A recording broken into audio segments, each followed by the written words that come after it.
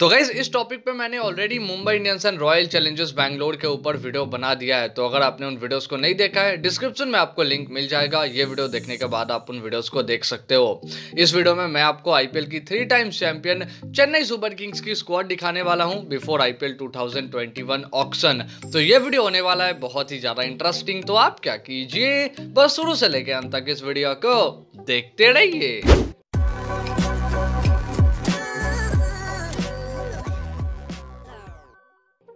तो गई शुरुआत करते हैं उन प्लेयर से जिनको आईपीएल 2021 ऑक्शन के पहले चेन्नई सुपर किंग्स की टीम रिलीज़ करेगी।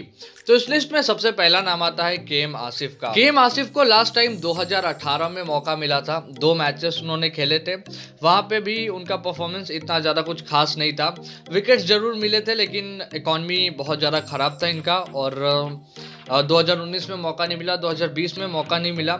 जबकि 2020 में चेन्नई ने अच्छा परफॉर्म नहीं किया था, फिर भी इनको एक भी मौका नहीं मिला मतलब इन्होंने कैंप में इम्प्रेस नहीं किया। तो मेरे हिसाब से आप इनको रिलीज़ कर सकते हो और शायद मुश्ताक अली ट्रॉफी या फिर कोई यंगस्टर को टारगेट कर सकते हो इंडियन यंगस्टर पेसर जैसे टीन एट्राजन हो गए, हैदराबाद ने उनको खिलाया। उससे पहले पंजाब में थे, लेकिन हैदराबाद ने उनका रियल टैलेंट पहचाना और अभी हम देख सकते हैं वो कितना अच्छा उन्होंने परफॉर्म किया ऑस्ट्रेलिया वर्सेज इंडिया के मैचेस में। तो ऐसे किसी गेंदबाज को आप टारगेट कर सकते हो। इसके बाद इस लिस्ट में दूसरा नाम है मुरली विजय का। मुरली विजय को आईपीएल 2020 में तीन मैचेस मिले, जहाँ पे उन्होंने 32 रन बनाया विद स्ट्राइक रेट ऑफ़ 74.41 बहुत खराब स्ट्राइक रेट है 80 से भी कम का है। मुझे नहीं लगता अगले सीज़न में चेन्नई सुपर किंग्स की टीम मुरली विजय को रिटेन करेगी। तो फोर श्योर मुरली विजय को आईपीएल 2021 ऑक्शन के पहले चेन्नई सुपर किंग्स की टीम रिलीज़ करेगी।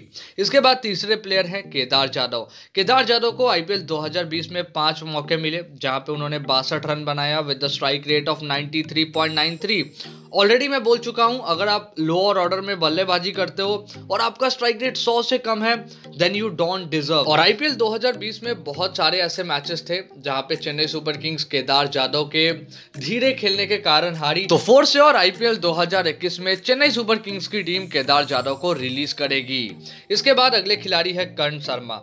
देखो, कर्ण शर्मा को मैं परफॉर्मेंस के बेसिस पे तो रिलीज़ करूँगा ही। उनका परफॉर्मेंस इतना ज़्यादा खास नहीं रहा जितना मैंने एक्सपेक्ट किया था।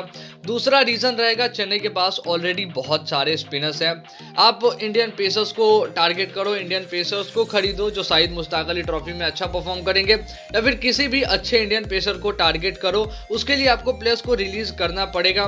तो यही मुझे रीज़न लगता है कि कर्ण शर्मा को रिलीज़ करेगी चेन्नई की टीम ऑलरेडी इनके पास बहुत सारे स्पिनर्स हैं। तो एक स्पिनर चला भी जाता है है तो इतना ज़्यादा फ़र्क नहीं पड़ेगा। इसके बाद अगले खिलाड़ी हैं मोनू कुमार। मोनू कुमार को आईपीएल 2020 में एक मौका मिला, जहाँ पे उनको विकेट तो नहीं मिला, उनकी इकोनॉमी दस की थी। अब देखो, एक मैच के परफॉर्मेंस से हम किसी प्लेयर को जज नहीं कर सकते हैं। लेकिन चेन्नई के स्क्वाड में ऑलरेडी बहुत सारे प्लेयर्स हैं। मैं आपको ऑलरेडी बता चुका हूँ कि एक टीम के पास 25 स्लॉट होता है मतलब एक टीम मैक्सिमम 25 प्लेयर्स को खिला सकती है। चेन्नई के पास ऑलरेडी 24 प्लेयर्स थे आईपीएल 2020 में, जिसमें से एक सेन वॉटसन रिटायर हो चुके हैं तो 23 ले लो। और हरभजन सिंह रायना को हटा दोगे तो 21 हो जाएगा। लेकिन ऐसे टोटल मिला के देखो तो 24 प्लेयर्स थे। तो चेन्नई अपना स्लॉट जो है उसको यूटिलाइज करती है मैक्सिमम प्लेयर्स रखने का ट्राई करती है। तो चेन्नई के पास ज़्यादा स्लॉट्स रहेंगे नहीं ऑप्शन में, इसी के कारण उनको प्लेयर्स को रिलीज़ करना पड़ेगा। तो मोनू कुमार को मेरे हिसाब से चेन्नई की टीम रिलीज़ करेगी। इसके बाद अगले खिलाड़ी हैं लुंगी नगेडी। देखो, एक ही ऐसा ओवरसीज प्लेयर मुझे दिखा चेन्नई के स्क्वाड में, जिसको चेन्नई रिलीज़ करेगी। हेजलवुड और लुंगी नगीडी के बीच में मैं कंफ्यूज था, लेकिन अभी जॉस हेजलवुड बहुत अच्छा परफॉर्म कर रहे हैं। मेरे हिसाब से उन्हीं के साथ जाएगा चेन्नई सुपर किंग्स और लुंगी नगीडी को रिलीज़ करेगा। इसके बाद मैं आपको आईपीएल 2021 ऑक्शन के पहले चेन्नई सुपर किंग्स की स्क्वाड दिखा देता हूँ। तो इस लिस्ट में सबसे पहला नाम है चेन्नई सुपर किंग्स के कप्तान एम एस धोनी का। इसके बाद नारायण जगदेशन, ऋतुराज गायकवाड़ रविंद्र जडेजा, जॉस हेजलवुड, पीयूष चावला, अंबाती रायुडू, सुरेश रायना, मैं आपको बता दूँ सीएसके के मैनेजमेंट ने यह कंफर्म कर दिया है कि वो आईपीएल 2021 में सुरेश रायना को रिटेन करेंगे। इसके बाद हरभजन सिंह हरभजन सिंह को लेकर ऐसा कोई कॉन्फर्मेशन नहीं है। लेकिन अगर सुरेश रायना को करोगे तो फिर हरभजन सिंह को भी करना पड़ेगा बिकॉज़ दोनों का एक ही रीजन था पर्सनल रीजन के कारण वो आईपीएल 2020 में नहीं खेले थे। तो ये अनफेयर होगा हरभजन सिंह के साथ। तो मेरे हिसाब से दोनों प्लेयर्स को रिटेन किया जाएगा। इसके बाद Imran Tahir Deepak Chahar, Faf du Plessis, Shardul Thakur, Mitchell Santner Dwayne Bravo Sam Curran and Sai Kishore. तो ये सत्रह प्लेयर्स को Chennai super kings IPL 2021 auction के पहले रिटेन करेगी और यही सत्रह प्लेयर्स चेन्नई के स्क्वाड में रहेंगे बिफोर आईपीएल 2021 ऑक्शन अभी चेन्नई के स्क्वाड में टोटल तेईस प्लेयर्स हैं। पहले चौबीस थे, लेकिन वॉटसन ने रिटायरमेंट ले लिया है। तो अब तेईस है।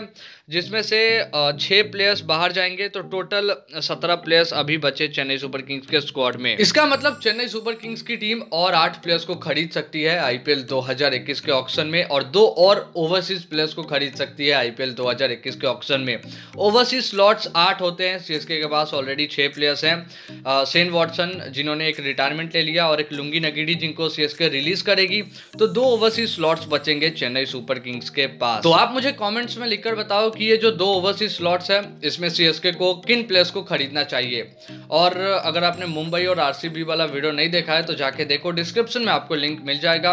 और कमेंट्स में लिखकर बताओ आपको नेक्स्ट वीडियो कौन सी टीम पे चाहिए। और अभी के लिए बस यही थे वीडियो आई होप आपको ये वीडियो अच्छी लगी होगी।